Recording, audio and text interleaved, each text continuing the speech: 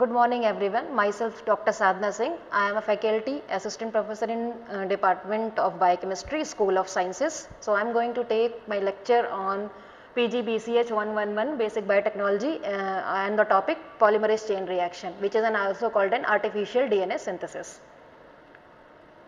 So uh, as I mentioned previously that it is a artificial gene or DNA synthesis means the process is going to take place outside the human body. So, it is also called an in vitro, in vitro artificial uh, synthesis because in our body simultaneously DNA processing is going on. DNA replication actually is going on. So, what is PCR? It is the molecular biology technique, most powerful technique that produces large quantity of DNA from small quantity of DNA. So, it was invented by Kary Mullis so it was invented by Kary Mullis in 1983 and it, he was awarded the Nobel Prize, Nobel Prize in 1993. So what does PCR do? It amplifies a single copy of DNA from, uh, a, from a single copy of DNA into million or billion copies with the help of PCR that is a thermocycler. So hence it is also called an artificial replication process because with the help of the thermocycler millions and billions of copies will be produced. So what is so what are the components of the PCR? Components of the PCR is template DNA which means a wanted DNA which has to be templified uh, which has to be amplified, DNA polymerase, a suitable buffer which contains Mg plus 2 which acts as a catalyst for the DNA polymerase, again forward and the reverse primers, DNTPs which acts as a substrate, PCR grade water and thermocycler again a machine, gel electrophoresis where the gel has to be, PCR product has to be run and the gel documentation unit where we view that uh, amplified product. So this is the wanted gene and this is our template DNA. During the first cycle 2 to the power 4 copies will be produced because after this separation one will become this template strand and second will become this template strand. So 2 to the 4, uh, power 4 copies will be produced and in the next cycle 8 copies will be produced hence after 35th cycle 68 that is billions of copies will be produced. So leading to the components DNA polymerase, it adds sequentially uh, nucleotides complementary to the template strand at the 3' OH of the bound primers and synthesizes new strand of the DNA complementary to the target strand. This is a template strand. It has 5' and it has 3'. So here 3' OH of the primer and nucleotides will be added for the synthesis.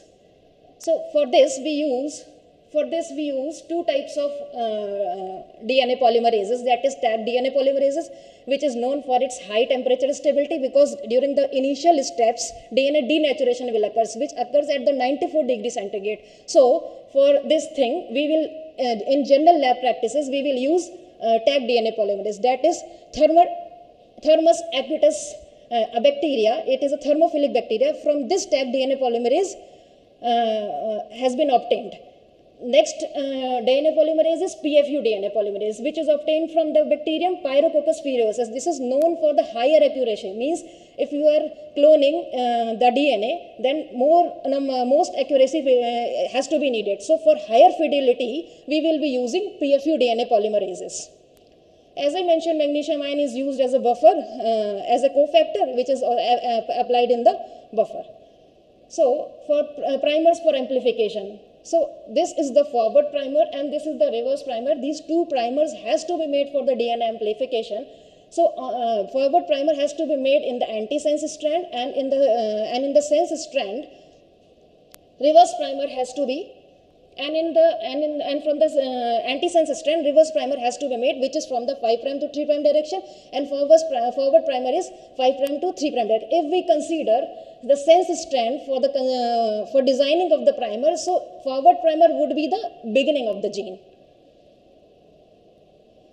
So considering uh, the difference between the forward and the reverse primer uh, for uh, template strand, uh, sense strand and anti-sense strand also known as the plus and the minus strand. So here you can see reverse primer will be made from the plus strand and the uh, from the minus and uh, forward primer will be made.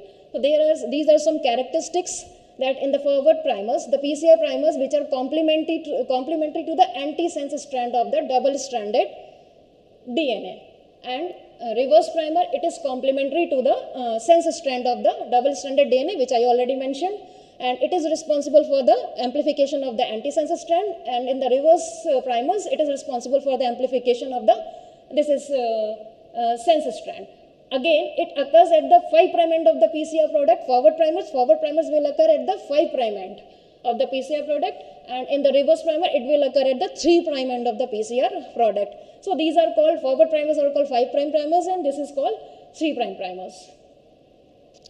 So this is the basic representation of the polymerase chain reaction. So uh, this is the DNA primer, this is the original DNA which is also called the template. So these are the DNTPs. So all the components would be added in one reaction and again, in the first step, denaturation will take place, means both the strand will be separated. In the second strands, primer annealing will take place and simultaneously at the extension, DNA synthesis would begin in the 5' to 3' direction. These are the steps involved in the polymerase chain reaction. These three cycles which is repeated continuously in the uh, reaction and uh, in the denaturation, uh, the temperature would be 94 degrees centigrade, uh, primer annealing. Uh, in the next slide, we will see how melting temperature would be calculated and it is basically uh, for the uh, primer annealing and DNA synthesis processes. So extension means DNA synthesis which occur at the 72 degree, 72 degree centigrade which and the time would be depend upon the length of the uh, DNA segment which has to be amplified. So for the primer designing we need to know what are the primers. Primers are synthetic DNA strands of about 18 to 25 nucleotides complementary to the 3' end of the template DNA. Means this should not be too long and this should not be too less.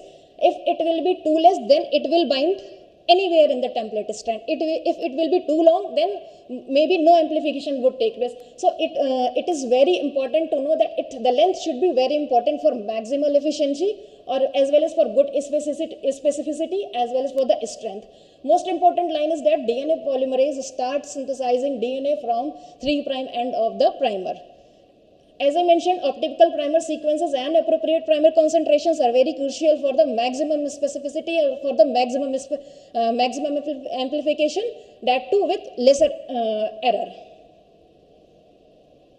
So what are the ideal primers? First thing, the two primers should be made forward and the reverse primer and both are complementary to the 3' prime end of the antisense as well as sense strands respectively. Secondly, thymine and adenine residues should be avoided the 3' uh, prime end of the primer because adenine and thymine binds two hydrogen bond with two hydrogen bonds. So this will weaken the the bonds between them. And second thing is that primer should uh, preferably end on C or G sequence because these are bind to three hydrogen bonds. So this will have more uh, strongerness than thymine and adenine. Run of three or more CG uh, at the 3' prime end of the primer should be avoided because it can lead to mispriming means it will lead to stem and loop structure formation. Second is that magnesium ions against the concentration of the magnesium ion will ultimately affect the PCR reaction. Lesser amount of the desired product will be produced if we will add low Mg plus 2 ions and higher amount of Mg concentration will lead to non-specific amplification. So again magnesium ion concentration would be very important. So how do we calculate the melting temperature of the primer? The temperature at which half of the DNA duplex dissociate to become single strand and display duplex stability means the both the uh, strands of the DNA as we know DNA is double stranded. So double stranded has to be uh, uh, dissociated into single strand so that synthesis can occur. So in that case, the DNA duplex should dissociate and uh, become single strand. For that, the reaction would be, for that the temperature should be 52 to 58 degrees centigrade. Maybe it can go to 60 degrees centigrade also. And this is the formula for where we can calculate the melting temperature, force G plus C to A plus T. So uh, these are the adenine, uh, adenine, guanine and cytosine thymine. These are the purines and the pyrimidines. Suppose ATGC, ATGC are the primer sequences. So number of guanine and number of cytosine would become here. And uh, uh we have to uh, calculate adenine or uh, this thymine also. Then we will come to know the melting temperature of the primers. Again, this is the general PCR reaction which we will do in the laboratory conditions template DNA, that is the gene. It has to be 500 nanogram. DNTPs, which is a substrate. Taq and uh, PFU polymerases and enzymes, buffers, forward and reverse primers and molecular water. again the different companies provide different type of uh, final volume concentrations for the master mix preparation so we will have to use in our uh, uh, times uh, uh, 25 microliter concentration but here suppose in g g9 and HiMedia we will use uh, 20 microliter concentrations so these are the steps i also mentioned in the, my previous slides steps involved in the pcr uh, initial step for uh, this will this cycle will uh, be uh, for one time only 94 degree centigrade for 5 minutes second is denaturation would uh, denaturation prim primer annealing and, uh, and extension. This will go till 30 to 35th cycle and it goes on repeating. This will produce the million and billion copies of dna and the, this is the final extension 72 degree centigrade for 5 minutes. If we will go after the pcr somewhere outside then we will have to keep maintain this condition. So these three conditions melting annealing and extension again i repeatedly uh, telling number of times these cycles has to be repeated. Again a gel electrophoresis unit means suppose pcr product has been amplified. Now it has to be run on the gel so that we can view uh, we can view the our product. So this is the gel electrophoresis unit the power uh, supply uh, negative to positive since DNA contain phosphorus. So DNA is uh, also negative charge and this is also negative charge. So these will repel and the DNA will jump out from the well and it will move in positive direction. So as you can see the forward uh, shorter molecules will move more fast and the larger molecules will be behind. This is the basic representation of the gel electrophoresis unit. These are the sample wells. These are the electrodes negative to positive it will run and this is the power supply we will apply. This is the gel documentation unit. Number of companies provides different type of machines, Exigen, Genii, HiMedia, Bio-Rad. So this is the Exigen machine. UV light uh, falls on our DNA. So this is the gel picture. Suppose these are the DNA products which has been amplified and run. This is the marker and we know this is the reference and we know this is our reference that is this means this is our ladder. So this, suppose this is 500 kb so we will come to know that this will be in between 500 to 600 kb and the shorter fragments will like this may be 100 200 so this uh, this type of uh, thinking this type of manipulations we have to follow and we have to uh, consider it with our reference genomes uh, reference ladders so what are the applications of the PCR? PCR applications are DNA cloning and sequencing. Suppose uh, a gene has to be cloned and it has to be put in the vector. So uh, how do we come to know that the gene has been cloned? Then we have to perform the PCR for the site directed mutagenesis that is gene mutagenesis suppose a single nucleotide has been incorporated and the whole mutations has been occur in the gene so again gene mutation in gene mutation pcr uh, will be done and DNA profiling that is DNA uh, fingerprinting in parental disputes we will do DNA profiling. And second is DNA based phylogenesis phylogenes means DNA based trees phylogenetic trees. If we need to construct we need to do PCR for the functional analysis of the means means the whether the gene is present or the gene is absent. For this uh, we will use PCR and uh, Second last is diagnosis of the hereditary diseases. Like uh, any of the diseases now, lot of lots of molecular markers are there in the market. So we have to perform the PCR to know the diseases.